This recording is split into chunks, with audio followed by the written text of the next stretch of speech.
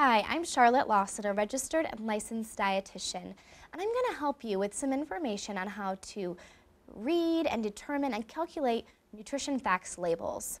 Now, if you're looking for a weekly menu and you're trying to determine what foods are healthy or what foods fit into a healthy lifestyle, utilizing the nutrition facts label is very, very key. Fortunately, a great amount of information has been calculated and formulated and broken down on this little strip on the side of a box bag box, box, bag, or packaged food that you would purchase. Now, the most important thing to look at is the serving size, because if you don't recognize the serving size, the rest of the information below really won't make any sense. So once you know the serving size per package, you can then calculate how many calories you're consuming. Say for instance, you have two or three servings. You know that any information listed below, you need to multiply by two or three times.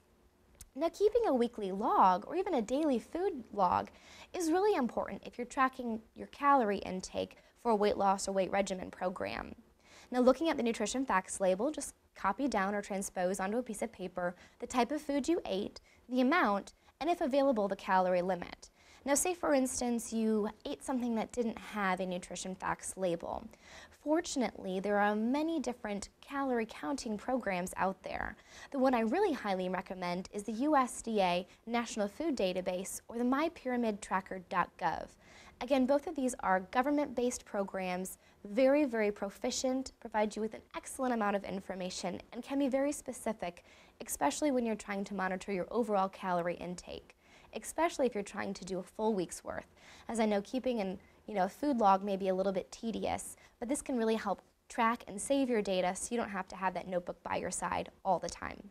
So again, utilize nutrition facts labels, look at the serving size, as this really is important as far as making the rest of the information make sense.